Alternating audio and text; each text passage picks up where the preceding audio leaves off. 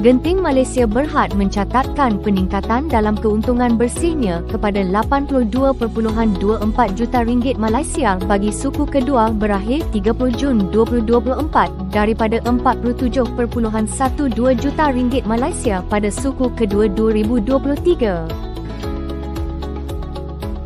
Hasil juga meningkat 8.0% kepada 2.67 bilion ringgit berbanding 2.47 bilion ringgit sebelumnya.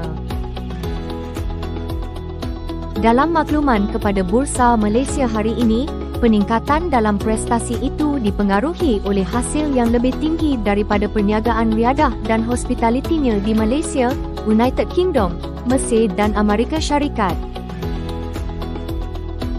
Perniagaan riadah dan hospitalitinya di Malaysia menyaksikan peningkatan hasil sebanyak 5.0% tahun ke tahun kepada 81.9 juta ringgit.